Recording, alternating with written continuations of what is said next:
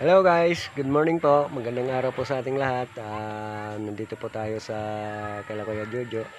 Hindi po tayo nakasama ngayon sa pagtatrabaho nila ni Kuya Rico. Ah, bibisitahin po natin sila kasi po ah, meron po akong linakad na mahalaga po.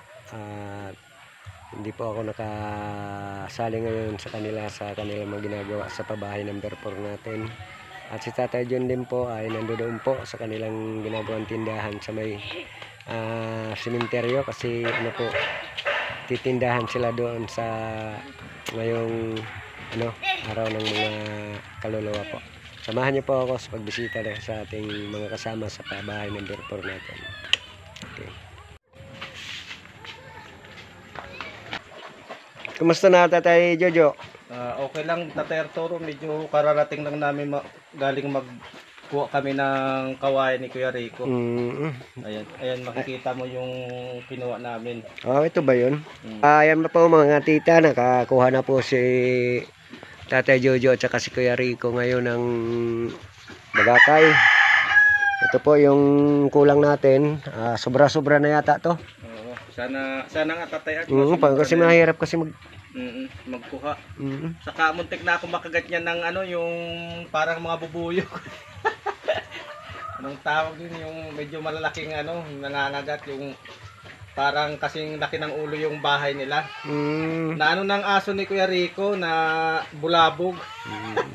Eksakto mag ano pa lang ako noon ng papasanin ko pa lang sana. Saan kayo nanguha banda? Doon pa rin sa pinagkuhaan na, nat- natin dati sa ano pa ng ilog. Mabuti. Tatawid pa tayo ng ilog. Ah, Doon sa unang kinuha natin. Hmm, doon sa malayo. Mabuti hindi tayo nadaanan nung hamumuong na yun. Oo, na ano lang nasa gilid lang pala siya ng sapa. Mm. Kanina ko lang na pansin talaga nung inano ng aso. Na, narinig ko lang na may umuugong. Muntik, muntika na pala kayo makagat. O ako lang tatay art. Buti na lang narinig ko yung yung tunog ng ano ng yung parang bubuyog. Yung mga galing, bzzz. Ma- ma- masakit pa naman mga gat yun. Nakakalagnat yun eh. Nakagat na ako niyan. Mm. Kahit isa lang makakagat sa'yo yan, lalagnatin ka niyan. Sa ulo ako niyan na nakagat. Ang maliit pa ako. dito sa noo ko. Nilagnat ako, tas namaga yung mga mata ko. Ako dito sa may sentido.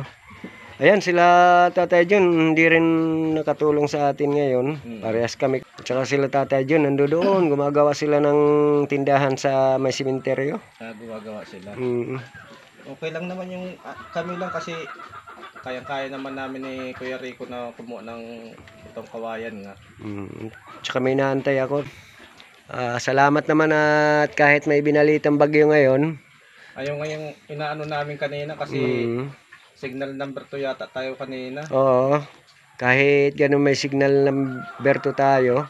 Ah, yung mga bata nga kanina pinauwi, yung mga elementary at saka high school, pinauwi ng mga mga taga DepAid, ng mga teacher kasi yun nga baka nga naman lumakas ang bagyo at dito dumaan sa atin. Papasalamat pa rin tayo at ngayon buong maghapon hindi siya dumating sa atin kaya Salamat tayo kay God. Mm At saka dapat bantayan rin natin ngayong magdamag na to. Baka mamayang gabi umataw siya. Hmm. Ayan. Si Kuya Rico pala guys, umuwi na pala. Oh, umuwi siya dahil pinauwi ko, sabi ko, uwi ka na, mag-ano ka na dahil hap, total hapon na. Hindi Mm. ka na umuwi, sabi ko. Okay. Ayan guys, hindi natin ano yan doon. Kasi yun lang talaga ang inuna natin, pinauna sa kanila. Pagkuha ng kawayan na to. Ayan, umaambon na naman. Um, sakto maambon na. Maraming salamat po kay Tita Rosan sa pagpapadala po niya ng 5,000 na pinandagdag po natin sa pagpagawa ng ah, bahay ni Nanay Ina po. Thank you, Tita Rosan po. Ah, po. At saka kay La Tita Bel, at saka kay Tita Cheche, maraming maraming po. salamat po sa inyo. At doon po sa mga ah, mga sponsor na hindi po namin nabanggit, ah Ipapaumanhin na lang po ninyo kasi yung mga pangalan niyo po hindi ko po natandaan. Thank you Ah, po kaya maraming maraming salamat po sa inyo sa patuloy po ninyong pagsuporta sa Team Tatay. Shout out po kila Tita Juliet Hular, Tita Rupina Brintos. Opo, at saka kay La Sayridki, at saka kay Ria B, Joe Mokiana, Efren Family. Tibay, Ford Family, at si Atilin Vlog, at lalong-lalo na sa ating ah, kanina nanood ako sa ano ni sa isang video ni Joey the Great. Ah, napaluha ko yung video niya doon sa Makati. Talagang kawawa naman pala yung pulubi pagka medyo inaapi. Napaluha po talaga ako. Kaya wag niyo pong kakalimutan. Ah, patuloy niyong subaybayan ang kay Joey the Great mga video na isang humanitarian tapos ang paraan niya po sa pagbigay ng tulong ay kanyang iprinaprank. At saka kay Lokoy TV, hello bro, ah dagan salamat sa imuhang suporta sa amoa. Kumusta ka na? Pasensya na, kakaroon pa ko nakausab og shoutout sa iyo. Ah, kana. B. Opo, kay la Tita Ila, Tita Ila, ah kumusta na kadiha? Og kay Tita Lucky Clover, kumusta na kadiha sa Japan? Opo E9. Shout out Mm. po. Dagang salamat sa inyo ha, Tita Ila at Tita Lucky Clover sa suporta ni ninyo namo sa Team Tatay. At sa lahat po ng mga OFW po, maraming maraming po salamat sa inyo. Ah, mag-iingat po kayo palagi. Thank Opo. you po sa inyo. At saka sa buong Team Corimao, kay Encycloberisa, ah, kay Bunso, kay Jan Philip, at kay Cynthia Horalbal. At saka shoutout nga pala kay Cynthia Oblog na palagi pong nakasuporta sa atin. Maraming salamat. At saka kay Rupina Abarintos, Ma'am Dila Victoria. Shout out din sa mga pamangking ko dyan sa Makati, kila Jana, kila ano ba to? Kila Ashter, kila Jan Hart. Hello, kumusta kayo dyan? Ah, kumusta kayo? Shoutout sa inyong lahat dyan. Maraming maraming salamat. At kami po yung ah, magpapaalam pansamantala po ulit sa inyo. Ah, wag po kayo sana magsawa sa aming mga video. Ah, subaybayan po ninyo. Maraming maraming salamat. Shoutout din kay Junabi. Hello, Ayun, Junabi. Tita Joy Almiron. Oh, ah, Joy Almiron. Apo. Ayan. Hello, kumusta? Kumusta po? Ah, susunduin natin yung pinsan ko po. Ah, galing po tayo doon sa bahay po natin.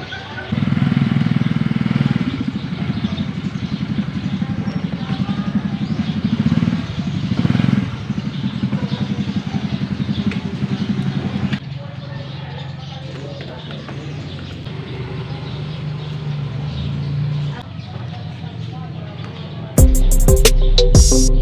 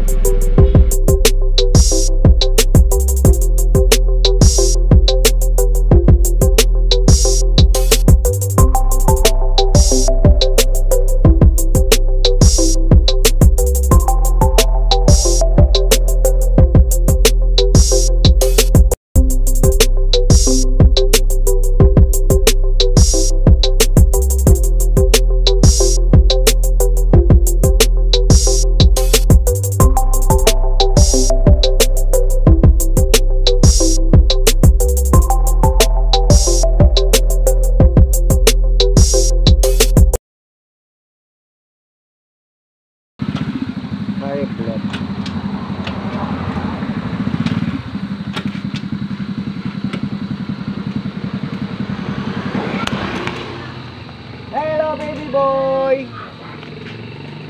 Kadila! Kadila kasawa nga agi.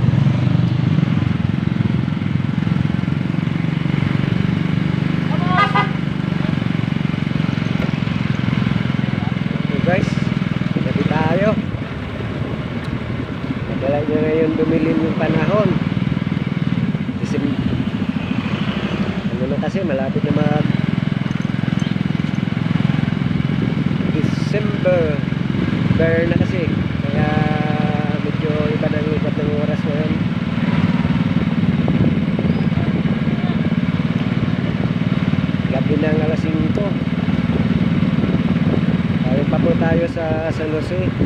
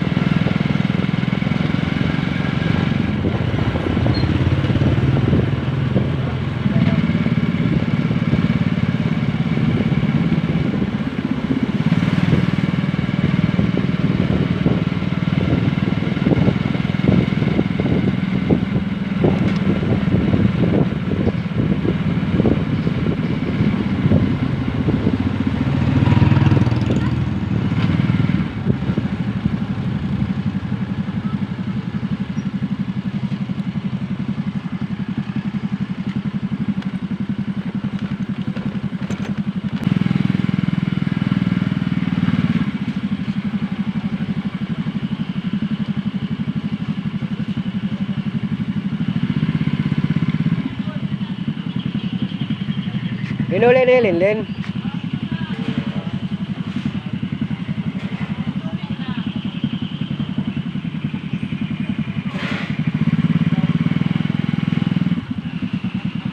Ayan, nakarating tayo dito sa bahay. Alas 5.33. Tamang-tama lang sa biyahe guys. Galing tayo ng San Jose.